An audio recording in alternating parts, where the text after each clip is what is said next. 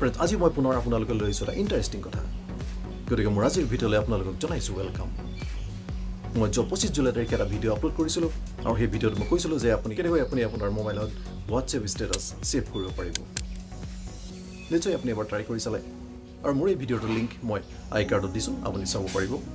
মই আপোনালোকে লৈ আহিছোঁ এনেকুৱা এটা কথা যিটো কথাৰ জৰিয়তে আপুনি ফোনত আপোনাৰ হোৱাটছএপৰ ষ্টেটাছ আপুনি নিজৰ মোবাইলত ডাউনলোড কৰিব পাৰিব। তেন্তে আহক আৰু মোক কৰি আজি ব্যতিক্ৰমী ভিডিঅ' পাই থাকিবলৈ আমাৰ চেনেল ছাবস্ক্ৰাইব কৰোঁতে বেল আইকনটো প্ৰেছ কৰিলে নাপাহৰিব। কথাটো হ'ল এনেকুৱা যে আপুনি যদি কোনোবা হোৱাটছএপৰ ষ্টেটাছ ভাল লাগে তেতিয়াহ'লে আপুনি যদি পাছত চাম বুলি ৰাখি থ'ব বিচাৰিছে তেনেহ'লে সেই হোৱাটছএপৰ ষ্টেটাছটো ডাউনলোড কৰি ল'ব পাৰিব। তেনে এটা সহজ পদ্ধতিৰে আপুনি কামটো কৰিলেই হ'ল। আৰু হোৱাটছএপৰ ষ্টেটাছ আপুনি ডাউনলোড কৰিবলৈ হ'লে আপুনি এটা থাৰ্ড পাৰ্টি এপ ডাউনলোড কৰি দিব ডাউনলোড কৰি ল'ব লাগিব। আৰু সেই এপটোৰ নাম হৈছে ষ্টেটাছ ডাউনলোডাৰ গতিকে আপুনি কোনোবা এটা ষ্টেটাছ ডাউনলোডাৰ আপুনি প্লে ষ্ট'ৰৰ পৰা ডাউনলোড কৰক আৰু ডাউনলোড কৰাৰ পাছত আপুনি যেতিয়া মোবাইল ইনষ্টল কৰিব ইনষ্টল কৰাৰ লগে লগে আপুনি যিখিনি হোৱাটছএপ ষ্টেটাছ চালে সেই চোৱা ষ্টেটাছখিনি আপোনাৰ সেই এপটোৱে স্কেনিং কৰি ল'ব। স্কেনিং কৰি আপোনাৰ মোবাইলত দেখুৱাব।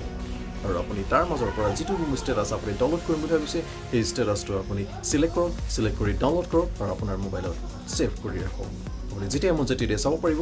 আৰু যদি আপুনি ইচ্ছা কৰে তেতিয়াহ'লে সেই ষ্টেটাছটো আপুনি পুনৰ শ্বেয়াৰ কৰিব পাৰিব। আপুনি কেনেকৈ আগবাঢ়িব মোৰ স্ক্ৰীণত দি আছে আপুনি চাই ল'ব পাৰিব